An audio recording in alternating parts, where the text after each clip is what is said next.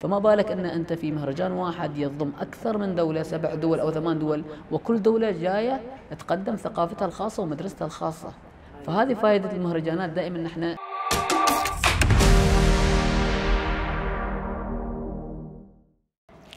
مساء الخير لجميع متابعين برنامج سوشو في جميع أنحاء الوطن العربي.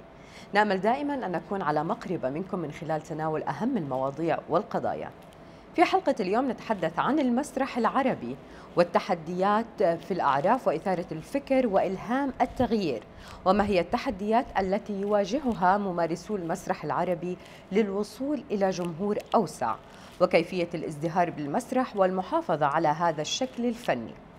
للحديث أكثر أستضيف وإياكم ضيوف اليوم من سلطنة عمان. آه، طبعا أروع آه، فنانين من سلطنة عمان. رح أبلش مع الفنان عيسى الصبحي. أهلا وسهلا فيك. أهلين وسهلين. آه، شكرا على الاستضافة. شكرا لبرنامجكم الجميل على هذه الاستضافة. إن شاء الله نكون آه، ضيف ضيوف خفيفين على القلب بإذن الله تعالى. إن شاء الله. وأكيد يعني اليوم إحنا مبسوطين بوجودكم معنا من خلال برنامج سوشو اللي بنسعى دائما إنه يوصل لأنحاء الوطن العربي مش بس محلي يعني. والله إحنا سعيدين حقيقة يعني إنكم أنتم اخترتم العمل أو الوفد العماني وتسليط الضوء على هذه المشاركات المسرحية. شكرا لكم. وان شاء الله راح نطلع بشيء جميل بإذن الله تعالى شاء نتائج الله. جميلة. إن شاء الله. عيسى هلا أنت شاركت بكذا دورة بالمسرح الحر والمسرح المونودراما ب... المونودراما كأول مرة بالأردن لكن شاركت بالمسرح الحر قبل بالأردن. خبرني عن هاي التجارب اللي خضتها مش بس بالأردن بالوطن العربي. والله هي تجارب كثيرة يعني الحمد لله آه، اشتغلت فيها آه، لتمثيل السلطنة خارج البلاد. ومن أهمها يعني آه، اللي هي آه، مهرجان الشارقة آه، الخليجي وأيضا مهرجان اللي هي أيام قرطاج ومهرجان شباب بغداد المهرجان بغداد يعني. وهي مهرجانات اللي شاركت فيها بالأردن والعديد من الدول يعني. أهمها هذه اللي ذكرتها سابقا. في الأردن شاركت أكثر من ثلاث مشاركات شاركت المرة الأولى بعشيات طقوس وأيضا شاركت في مهرجان المسرح الحر وهذه المشاركة الثالثة لي آه، والأولى لل- لمهرجان المونودراما بالزرقاء. أها. يعني امبارح حضرت العرض كان بصراحة شيء ممتع وجميل والله يعطيك مليون ألف عافية. أنت هلأ كمان رايحة سفر من عرض للسفر. يعني آه، حدثنا عن هاي التجربة خصوصا كانت امبارح آه، طبعا. هي تجربة الحمد لله نحن قدمناها للمرة الثالثة طبعا على الصعيد المسرحي. لكن بالأردن لأول مرة. لأول مرة آه، خارج البلد. طبعا بشكل عام هذه المسرحية قدمناها في عمان لمرتين. كان في مهرجان مهرجان المونودراما اللي قدمتها الجمعية الجمعية العمانية للمسرح والسينما. وبعدها قدمناه للجمهور لفعالية كانت آه، في عمان. وهذه المرة الثالثة في آه، الأردن.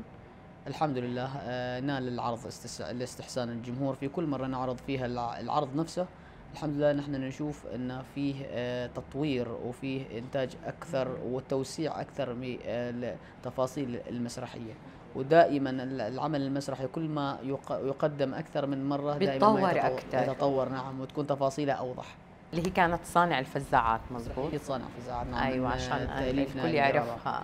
وإخراج عبد الملك الغداني أكيد رح يكون معنا بعد الفاصل بلقاء برضه بس حبيت أبلش معك لأنه أنا بعرف أنت كمان شوي طيارتك. أي نعم الوقت ضيق عندي عمل. نحن طبعا مثل ما تعرفوا نحن هواة مسرح مش يعني هلا كل اللي شفته هذا كان هواة مسرح؟ نعم نحن هو علشان كذاك أنا آه، جيت الحين وقدمت العرض لمدة تقريبا ثلاثة أيام وراح أرجع للعمل الثاني اللي هو بمهرجان عملي الخاص اللي. هو الدوام الخاص اللي هو بعيد عن المسرح تماما. آه، وبعدها إن شاء الله من أخلص راح أرجع مرة ثانية إلى الأردن. للمشاركة في مهرجان عشيات طقوس مع ال- الفريق آه، ولكن لست لن أكون ممثل يعني في هذا المهرجان سينوغرافيا. سينوغرافيا بإذن الله. تمام وامبارح كنت برضه أنت اللي مشتغل السينوغرافيا آه، أنا صممت ال- صممتها. الإضاءة لأن اللي صمم الإضاءة سابقا صارت عنده ظروف فاضطرينا إن إحنا نصمم الإضاءة وحدنا وأنا بما أني سينوغرافي صممت الإضاءة ونفذها مخرج العمل أنت بتحب ال- المسرح. شو بتعني لك يبقى المسرح ما بق... ما بقيت الحياة؟ شو بتعني لك هالعبارة؟ والله هذه العبارة آه، سمعتها لأول مرة آه، في مهرجان الشارقة الخليجي من آه، صاحب السمو الشيخ آه، آه، حاكم الشارقة اللي هو المهتم بالمسرح وبتشجيع و- المسرح. نعم. وقالها في آه، ختام المهرجان آنذاك. ومن خلالها أنا هذه العبارة لا زالت آه، في ذهني إلى يومك هذا وأحطها في كل مكان في ال social media في أي مكان. أحب هذه العبارة سبحان الله لأن فعلا يبقى المسرح ما بقيت الحياة. صحيح. المس... يعني الحياة مت- متغيرة والناس متغيرين ولكن المسرح هو هو لا زال يعني. طيب عيسى من 2009 لحد هلأ شو اختلف بالمسرح؟ وخصوصا كونك شاب شو اللي اختلف؟ أو شو نظرة الشباب؟ خلينا نحكي عن المسرح. المسرح يعني آه، إحنا صار صار عندنا المسرح شيء هاجس يعني ومثل الدم اللي يجري في العروق. يعني ما أخفيك سرا أن نحن ترى ما ما فيه أي عائد مادي من خلال تجاربنا المسرحية. إحنا هواة ونشتغل العمل المسرحي لأجل الحب حب المسرح. فاحنا صار المسرح بالنسبة لنا مثل ما لاعب كرة القدم يلعب الكرة والرسام يرسم بس و- هن هن بياخذوا عائد. آه، لكن أنتم تعرفوا المسرح دائما يعني آه، لازم المسرحي يضحي ولازم المسرحي يعاني ولازم المسرحي أوكي هاي عبارة بعتبرها خطيرة. بالضبط إحنا هذا اللي عايشين نحن لكن نحن متأملين يعني في المستقبل القريب إن شاء الله انه يتغير وتتغير النظرة ويصير الاهتمام أكثر وأكثر. وبالعكس يعني للمسرح بإذن الله راح يكون له عائدات مادية ومعنوية وراح يستمر ويبقى المسرح ما بقيت الحياة حتى أيوة. لو ما ما كان في عائد مادي أيوه يعني. أيوه يعني هاي للأسف آه، عيسى أنا رح أسأل الأستاذ عبد الملك عن هذا الموضوع. برضه حابة أعرف وجهة نظرك. ليه المسرح آه، صار ما له متابعين. بطل حدا يهتم بالمسرح. وين المشكلة؟ من, من ناحيتك انت عيسى من وجهة نظرك. من وجهة نظري ال- ال- المشكلة في التسويق والترويج. يعني إحنا للأسف آه، يعني اشتغلنا على المسرح ولكن لم نكون أو اللي قبلنا اللي سبقونا لم يكونوا قاعدة جماهيرية لم يكونوا تثقيف مسرحي للجمهور نفسه. فإحنا قاعدين نعاني إن نحن نشتغل مسرح وصرنا متطورين في المسرح ولكن للأسف القاعدة الجماهيرية لا زالت غير متواجدة يعني الجمهور ما موجود حتى الجمهور اللي راح يحضر لن يكون مثقفا يعني لأنه ما شاهد الكثير من العروض. دائما أنت لما تشوف أكثر من عرض يصير عندك الخيال أوسع والثقافة أكثر.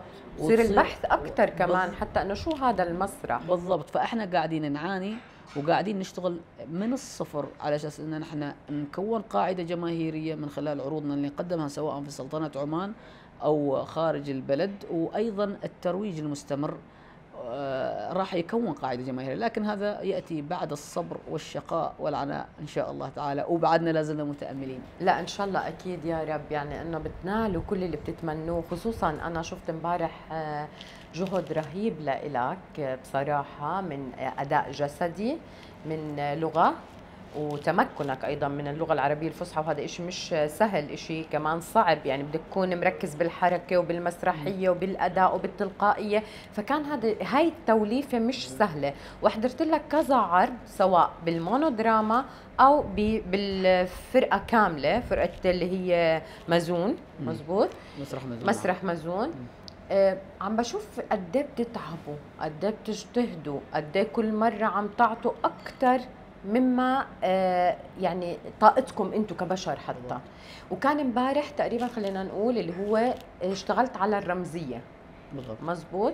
وكان في نقاش إمبارح كذا حدا يعني آه، ناقش في موضوع المسرحية. وأنا بتوقع إنه حيكون دائما في تطور. بالضبط. أنت لما أنت لما تشارك هي ما فائدة المهرجانات اللي خلينا نتكلم عن المهرجانات بشكل عام. فائدة المهرجانات للشخص للممثل أو الفنان نفسه هو تبادل الثقافات وتبادل المدارس والمشاهدة علشان يكون أنت كشخص كفنان يكون عندك خلفية أوسع. تطور مستواك من خلال الرؤية والمشاهدة. دائما نحن نظريا نشوف آه، الناس تكتب بال- بالصفحات ولكن عند التنفيذ يفشل الكاتب. في تنفيذ هذه الك- هذه الكتابة اللي كتبها. فمن خلال المشاهدة النظرية تصير عندك خيال أوسع وتطوير حتى في ثقافتك. يعني أنت لما يجيك مثلا من الأردن عمل من الأردن آه، قاعد يجسد ثقافة الأردن. أنا من خلال هذه الثقافة ممكن أنا خيالي يتوسع وتجيني أفكار أكثر وأكثر. من خلال مشاهدة ذاك العرض وتطوير الفكرة اللي شفتها أنا في هذا العرض. فما بالك أن أنت في مهرجان واحد يضم أكثر من دولة سبع دول أو ثمان دول وكل دولة جاية تقدم ثقافتها الخاصة ومدرستها الخاصة. فهذه فائده المهرجانات دائما نحن لما تتعلموا من بعض تبادل ثقافات بالضبط. هذه الأعمال اللي تشوفيها يعني الحمد لله جاءت من بعد فعلا تجارب يعني من بعد مشاهدات. يعني أنا تقريبا لحد من 2009 للآن تقريبا فوق ال 150 إلى 200 عرض شفت. فما معقوله إنك أنت كفنان شفت أكثر من 200 عرض؟ ما جاك شيء يعني ما لا تطور حتى حالك بالضبط. أيوه. يعني لو جيتي تشوفتيني من 2009 وتشوفي للآن أنت راح تلاحظي إن في تطور وفي خيال أوسع وفي ثقافة وفي مدارس جالسة تصير. يعني حتى أنا الآن من خلال المشاهدات ما درست الإخراج أنا ولا درست السينوغرافيا. أنا الحين أمسك سينوغرافيا وإن شاء الله راح أقدم عمل من إخراجي الخاص اللي هو أول عمل. من وين جاء نستناه. إحنا والمتابعين هذا العمل عيسى. إن شاء الله قريبا بإذن الله تعالى.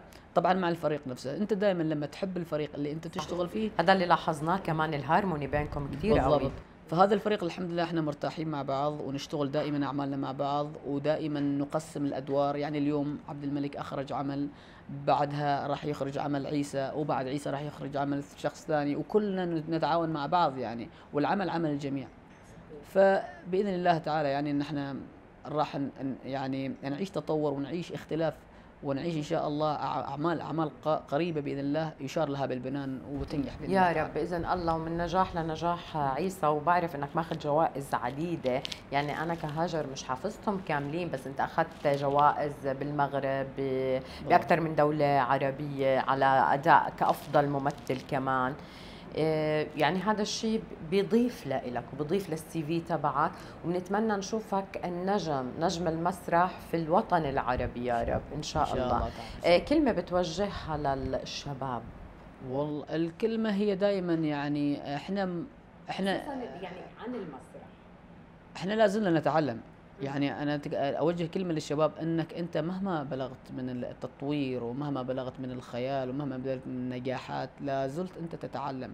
لأن اللي واضح الآن واللي صاير الآن إن الشباب أول ما يخرج لك أو يشتغل عمل أو عملين يشوف نفسه فوق الكل ويعني يثبت شغله ويكون شغله هو هو بدون تطوير. ليش؟ لأنه هو شاف نفسه.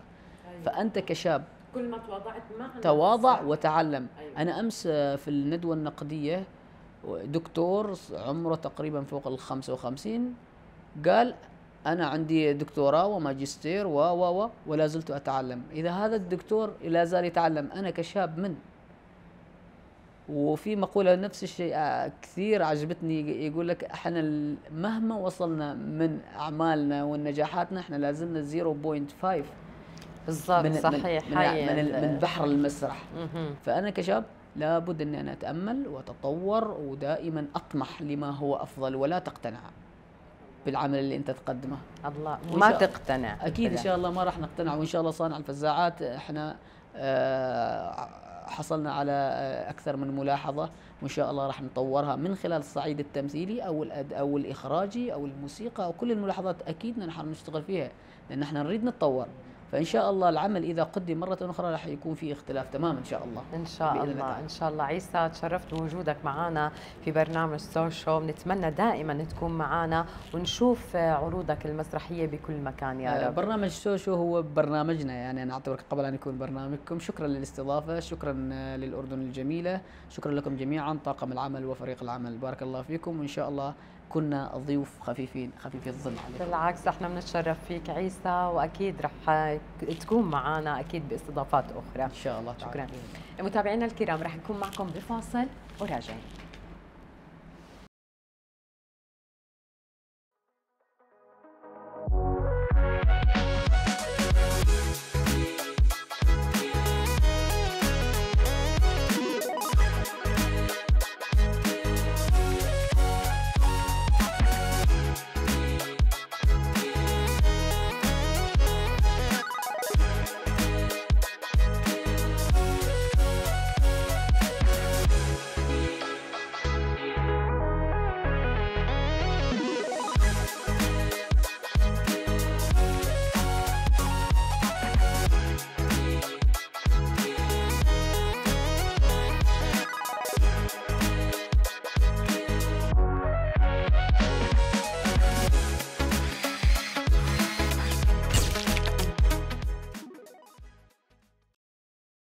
رجعنا معكم متابعينا الكرام بعد الفاصل وأكيد ضيفي هو المخرج عبد الملك الغداني من سلطنة عمان. بتمنى حكيت اسم العائله صح؟ صحيح. 100% okay تمام. ولا غلطة. تمام. كيف أمورك؟ إن شاء الله تمام. الحمد لله. أنا مبسوطة جدا بوجودك معنا في برنامج سوشو لليوم. آه، حابة نحكي شوي عن المسرح. كونه خصوصا المسرح العربي كونه تاريخه الغني وتقاليده المتنوعة تأثر الجماهير منذ قرون من الدراما القديمة للأعمال المعاصرة لدرجة أنه بيتسمى أبو الفنون. أين وصل الحال بالمسرح العربي؟ آه، أول شيء شكرا على الاستضافة شكرا على اللفتة الحلوة والحضور الجميل آه، وشكرا انك نورتينا أمس في العرض. آه الله يخليك. أنا سعيد طبعا بهذه الاستضافة وأتمنى يعني نقدر نثري الحلقة ولو بشيء بسيط. يا ريت. هذا آه هذا هدفنا من خلال الحلقة. آه بالنسبة للمسرح العربي وين وصل؟ سؤالك؟ أيوة وين صار حاله؟ والله هل هو يحتضر؟ لا ما نقدر نقول يحتضر. دام في أوكي. ناس إنه تقاعد على أساس إنه يستمر ما يحتضر. برافو. فالناس مستمرة تجاهد حتى ضمن حتى مع آه، شح الموارد لكن ما زالت في ناس تجاهد ومستمرة وحابة المسرح من أجل المسرح فقط. تشتغل مسرح لأنها حابة تشتغل مسرح. آه، أغلب الناس اللي ينتمون للمسرح تشوف ما عندهم ما عندهم النظرة المادية كثير. أيوة. طبعا يتمنوا احد ما يتمنى إنه يكون في انكم في المسرح لكن ما عندهم ذاك الشغف المادي. كثر ما عندهم شغف ثقافي يحبوا يقدموا حلو. أفكارهم يحبوا يقدموا أعمالهم يحبوا الناس تشوف ابداعاتهم. فدام إنه في ناس تشتغل دام إنه في ناس حابة المجال أنا ما أتوقع إنه يحتضر يبقى سيبقى أكيد. يبقى سيبقى أكيد. أكيد. وفي أجيال متتابعة. حتى اللي يوصل لمرحلة الانكسار أو يوصل لمرحلة الخذلان في يوم من الأيام أيوه. ثقي إنه في وراه ناس تدعم. ما هو ما تدعمه بس في وراه ناس هو أسسهم بتستمر. وهذا تأسيس يعني مش سهل. ما يعني هو مثلا على سبيل المثال إذا بنقول مثلا مخرج ما أو رئيس فرقة ما تعب في بداية حياته وكان في نشاط وكان عنده قوة وحاب انه العمل المسرحي يستمر وكذا وصل لمرحلة إنه خلاص يعني ما قادر يضيف شيء جديد. ثقي إنه التيم اللي كانوا يشتغلوا معاه ما حد بيوقف منهم. أكيد. أو على الأقل اثنين ثلاثة أربعة منهم بيستمر. الشغف بخشبة المسرح شيء مش مش مش سهل إنك تتركه. بالضبط. وأضف إلى ذلك إن هذا استمرار هذا التيم اللي هو أسسه استمرارا له. صح. صحيح صحيح, صحيح. فما راح تقف. ما أتوقع تقف. حتى لو لو ساءت الظروف ساءت الظروف بنوصل نقدم في الشارع. بدي أسألك هل الجمهور مثقف واعي بالمسرح مثل زمان؟ هلا زمان كان المسرح تكت وشباك. مين مين ضل من الدول هلا عندها شباك تذاكر للمسرح؟ يعني شب بالنسبة للوطن العربي يمكن اكل مش على مستوى الخليج. الوطن العربي ما عندي فكرة عنه.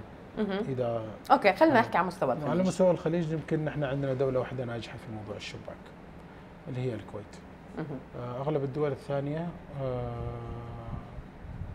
ضعيفة جدا. أيوه. ضعيفة وشباكها دائما تجاري يعني تجاري عمل جماهيري. أيوه. اللي هو نوع من أنواع المسرح اللي هو الكوميدي يعني. أما ما في شباك في الاحترافي مثلا. أيوه أيوه أيوه ما أيوة. في يعني. فيمكن تحصلي بعض الفرق اللي في الكويت اللي تشتغل والناس المشتغلين اللي عندها شباك تذاكر بمواسم معينة أكيد. شغالة يعني ما تتوقف. وممكن تشارك في مهرجانات تنافس على مستوى مهرجانات. هذا على حد علمي يعني بشكل مبسط على على مستوى الخليج. على نشوف يعني آه بالنسبة لإعلاناتهم نشوف السوشيال ميديا يعني توصل عروضهم لل 50 عرض 60 100 عرض. هذا شيء خيالي طموح صحيح كبير. صحيح. في أقل من سنة شيء كبير. إنك توصل لهذا العدد. لا وفل يوميا. ما شاء الله. يعني. إحنا بنتمنى للوطن العربي مش بس منطقة الخليج إنه يصير فيها الثقافة المسرحية. كان زمان هلأ لا. مش الكل مهتم بالمسرح. يمكن لأن الوضع اللي صار بالنسبة لوضع الترفيه اكتثر. كثر يعني. أيوه. الترفيه. ال social media صار. ال social media أكيد. آه سينما صار في سينما. في أشياء تعتبر سهلة. يعني سهلة في الإنتاجية وفي نفس الوقت آه، تجيب انكم بسرعة.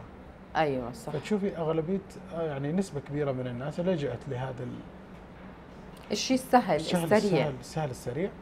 فتخلت يمكن على المسرح. في ناس تخلت في ناس لا ما زالت تعافر. وبس في نقطة مهمة جدا. يعني نحن نتكلم عندنا مثلا في سلطنة عمان. نحن المسرح عندنا ولاد لمجالات أخرى. أيوه. لمجالات أخرى. مثل؟ آه مثلا على سبيل المثال المسرح ولاد للسوشيال ميديا تشوفي خلفيتهم مسرحية أو بدايتهم مسرح. أغلبهم أو نسبة كبيرة ما أريد أبالغ. نسبة كبيرة منهم تشوفيهم إذا بتساله بيقول لك لازم يوم من الأيام؟ كان في البداية مسرحي. وقف على خشبة مسرح أيوة. أو اشتغل مسرح آه، آه. أو يمكن دارس مسرح. نسبة كبيرة منهم هذا واحد. فنانين مغنيين عازفين ملحنين صح. مروا على هذا الجانب. آه، في حتى المخرجين السينمائيين مخرجين الدراما مروا على مسرح. أكيد. فالمسرح صاير له انكم أو في موارد تدخل لو للشخص في بتلاقي لو الشخص فكر إنه ينتقل إلى خطوة أخرى. آه لكن أحيانا صحيح كلامك. لكن أحيانا وش اللي يصير؟ يصير إنه لما ينتقل تقل هو هو يقل يثقل نوعا ما أيوه مسرحياً. لأنه ما في ما في انكم اللي يقدر يوقف لل- للي بعده. بالضبط. فهو تشوفي يعني يثقل مسرحيا يعني يحس إنه ما عنده ذاك النشاط السابق مسرحيا. فخلاص تشوفيه يستمر يا في ال social media أو في سوق الإعلانات. وتكون يعني مشاركاته في المسرح آه، بسيطة.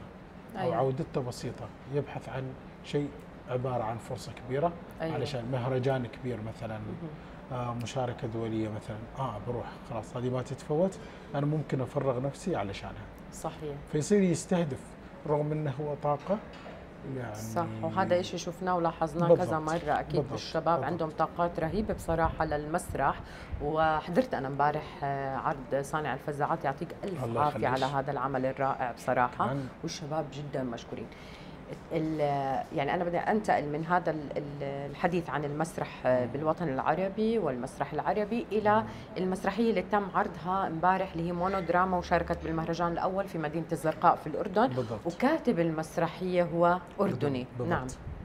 كاتب المسرحية الاستاذ نائل مهم. آه أردني مقيم في عمان. مقيم في عمان. عايش ومستقر في عمان. آه صانع الفزاعات آه من وين بقى تبدأ صانع الفزاعات. آه صانع الفزاعات يعني مشوار أو آه عمل آه يمكن أقدر أقول ليش عمرة الافتراضي أكثر من الانتاجي من يعني الإنتاج أيوه أوكي. يعني هو النص كتب تقريبا في 2019 2020 مهم. تقريبا. قبل قبل جائحة كورونا. أيوه أيوه. ممكن ب في عد- 2019 أيوة. بداية ال 2000 تقريباً. أيوه. آه ف وكتب كان بطلب منا نحن كان عندنا مشروع أنا وعيسى. كنا جالسين قال لي عيسى حاب إنه اشتغل مونودراما وكذا. قلنا يلا نجرب. فكان عندنا كان ذيك الأيام في خطة إنه يعني المركز الثقافي أو نادي الثقافي عفوا في عمان ينظم مهرجانات دورية. يعني بشكل دوري.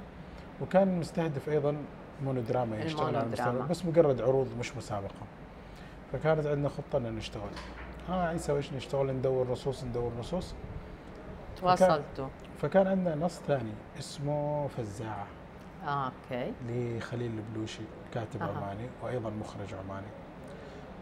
فكان المشروع ان نخر نشتغل على هذا النص. يعني okay. نشتغل على ذاك النص. قرأت النص جلسنا أنا وعيسى تناقشنا في النص حطينا أفكارنا في النص كنا حابين نعمل إعداد للنص. آه فكلمنا الكاتب قلنا نبي نعمل إعداد للنص عشان عندنا أفكار معينة نريد نعدلها وكذا. فقال أنا ما ممكن أفيدكم بحكم إنه أنا خلاص استنفذت طاقتي في النص كلها. بالنص آه فإذا جيت اعمل اعداد بناء على افكار ممكن اعطيك مسرحيه ثانية بكون بخيل يعني أيوة، عليك لاني أيوة. أنا بكون متمسك بفكرتي بفكرته بالضبط. صحيح بس أنا اعطيكم green line حبيتوا تعدوا وحدكم حبيتوا تشوفوا كاتب ما عندي اشكاليه فجلسنا نتناقش من ممكن آه أوكي كنا ذيك الأيام قريبين عيسى قريب جدا من الكاتب نائل نائل قراب ارسل قال جلسنا معاه اعطينا الافكار قلنا له نبيك تعدل لنا نص رسلنا له الفيديو العرض السابق العرض قدم من قبل آه وشافه قلنا نحن نريد نقدمه بشكل مختلف تماما. أعطينا الأفكار. فنحن نتناقش شاف ان الأفكار كثيرة. يعني ممكن أيوة. تولد نص أساسا. أها. يعني الأفكار اللي موجودة على مستوى ملاحظات نص آخر. ممكن تولد نص آخر. فقال لي عبد الملك وش رأيك؟ لو ش- اترك هذا النص على جنب؟ أنا بكتب لك نص آخر. حلو. وهذا اللي صار وبلشتوا. طلع صار على الفزاعات. حلو. طلع صار على الفزاعات طبعا سلمني إياه. ذيك الفترة وظل يعني يمكن أكثر إحنا أنتجناه تقريبا في 2022 ثلاث ما 22 أتوقع على بداية 22 بعد. آه، الجائحة بعد الجائحة مباشرة يعني. بلشتوا فيه. في فترتها يعني نهايتها يعني. بس طول ذيك الفترة كان تدريبات و ما تدريبات كان بس مجرد اشتغال على النص. على النص. أيوه أيوه. فشكله النص اللي كتبه أنا مختلف تماما عن ما قدم في العرض. تماما. آه كانت في أفكار أخرى من خلال النص استنبطناها من النص نفسه. والحلو في الموضوع أن الكاتب كان متعاون يعني. فجلسنا مع بعض تناقشنا وقلنا نريد نقدم هذا ونلغي هذا فكان متعاون معنا. الحمد لله وطلع هذا العرض. هذه قصة العرض. هذه قبل ما قبل العرض يعني. ما قبل يعني الاشتغال وإنتاج العرض. آه فترة الاشتغال آه ما حبينا نقدم العرض بشكل عادي.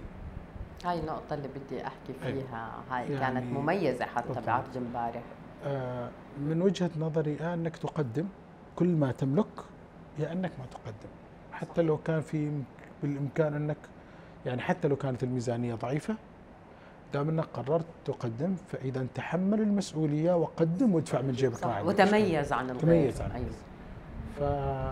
فقدمنا العرض بديكورة بكل تفاصيل الديكور بأق- بأدق التفاصيل في الديكور حتى شعر البنت حتى لون عينها حتى لون عين الجنرال كل شيء كان مدروس هي هالتفاصيل كلها بالإكسسوار وبالديكور وبالإضاءة السينوغرافيا كلها بتلعب دور توليفة كاملة لتوصل توصل الفكرة. الفكرة تبعك بالضبط. okay. فاشتغلنا على ادق التفاصيل حتى نوع الموسيقى ثقافة الموسيقى اللي اشتغلناها. لا نبي هذا الجو. نحن في هذا الزمان الثيم تبع الموسيقى اللي كان بالضبط، موجود أكيد. بالضبط بالضبط. فعلى أساس كذا حسيت يمكن نوعا ما أنت حضرت العرض حسيتي إن العرض نوعا ما آه، سمعيا متماسك. صحيح. يعني سمعيا متماسك. والهارموني هلأ في نقطة كثير ذكرتها مهمة جدا. مم. حتى ال- ال- العازفين مم.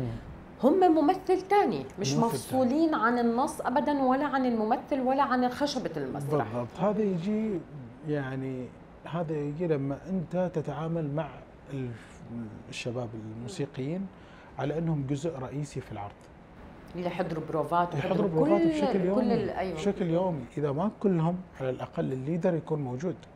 فاهم إحنا وش أضفنا وش حطينا كيف ال level اللي ممكن يحطه متى الممثل يرفع صوته ومتى هو يهدي متى يدخل متى احساسه حزين متى يكون في حالة توتر. ليش بتوتر؟ هل يدخل يعني في صراع من الآن ولا يبدأ تدريجيا؟ فهو فاهم. يعني العازف فاهم. الله. وهي كانت النقطة المميزة بصراحة بعرضكم إنه ال music ال live اللي كان مصاحب العرض المسرحي وكل آه، موسيقي فاهم شو اللي عم بيعمله بالضبط. وعارف. وعجبني كثير يعني ما شاء الله عليها بال- بالفرقة ملوك. رائعة جدا يعني كونها البنت الوحيدة بالفرقة بالضبط. معاكم. أنتم مش جايبين الفريق كامل, كامل، كمان بالضبط. آه، حمد ما شاء الله أنا سمعته امبارح آه،. سمعت صوته وسمعت أداؤه على العود والوليد كمان يعني كلكم توليفة رهيبة يعني قد ما بحكي ما رح أعطيكم حقكم بصراحه يخليك، لأنه. أنا اللي شفته غير مختلف تماما آه هو هذا ما يجي إلا إذا كان الشخص حاسس إن هذا العمل ملكه يعني ملوك أمس طالعه زعلانة من العرض. بالضبط. لأنها غلطه غلطة بسيطة أنا ما انتبهت عليها. بالضبط. ليش طالعه زعلانة من العرض؟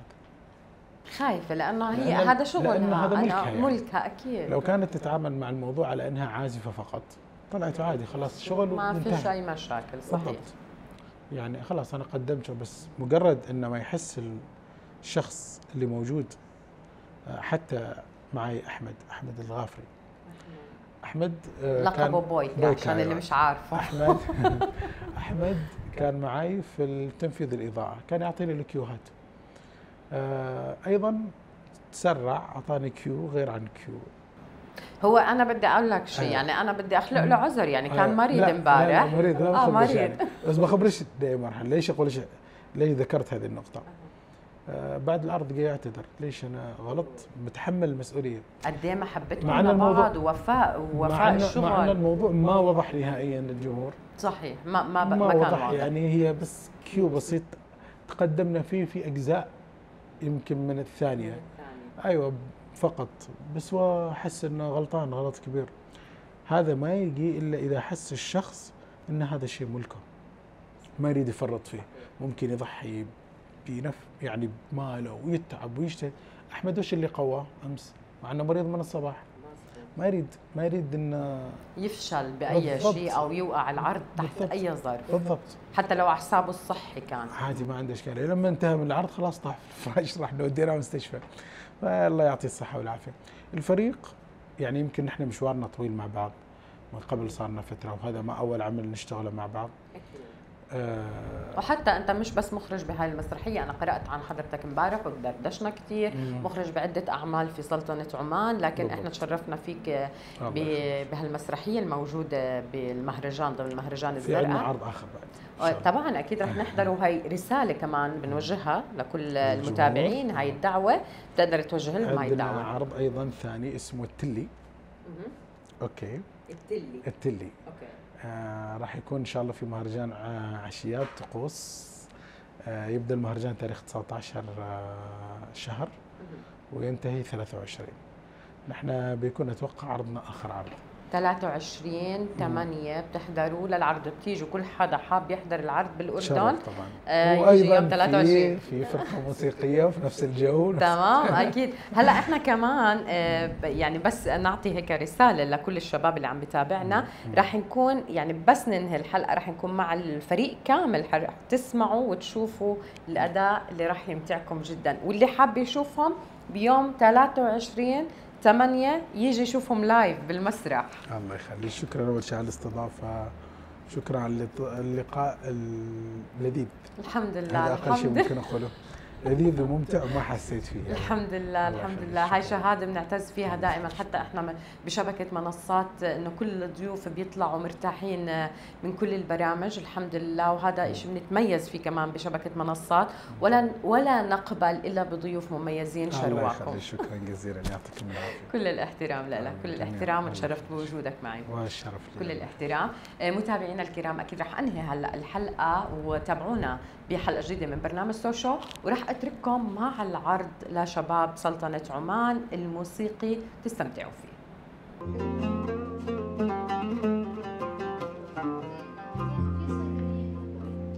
يا داني يا داني يا داني دين. يا داني يا داني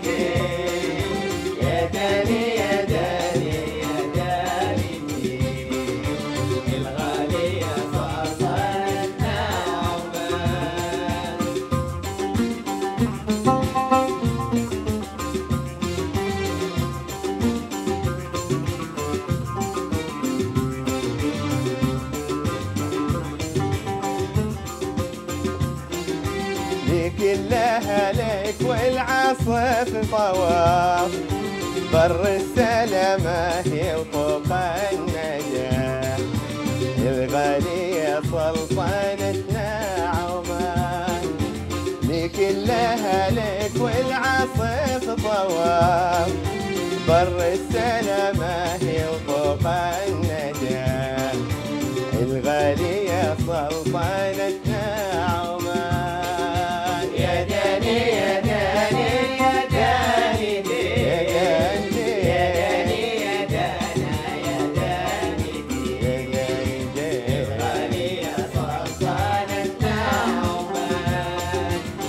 يا